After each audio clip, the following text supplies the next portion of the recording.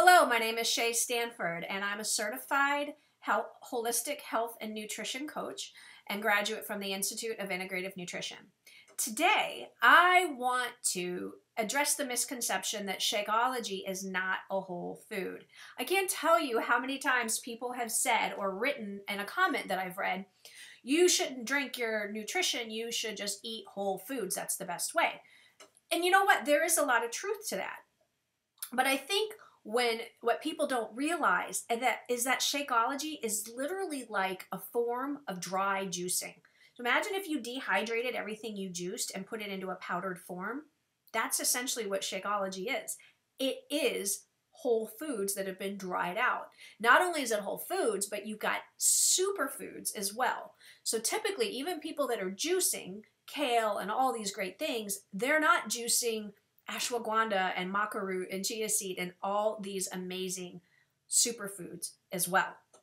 But whenever it's possible with Shakeology and sustain, sustainable to the formula, the superfoods in Shakeology are preserved literally in their whole food state to retain maximum nutrient value. It's a very, trust me, it's a very difficult process to use whole plant based ingredients. So the formula retains as much nutritional value as possible.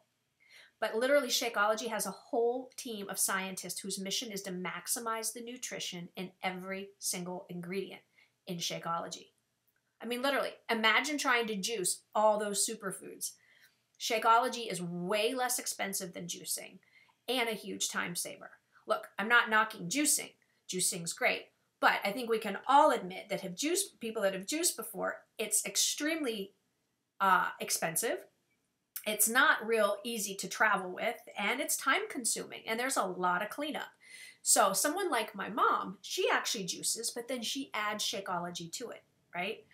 Um, back to the whole food ingredient.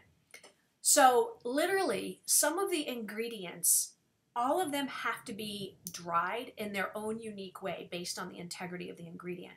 Some of them, it's literally just a five degree variance from drying something out enough so that it doesn't go rancid and rot in the bag, but not too much to where you just burned off all the enzymes and things that make that superfood so nutritious to you.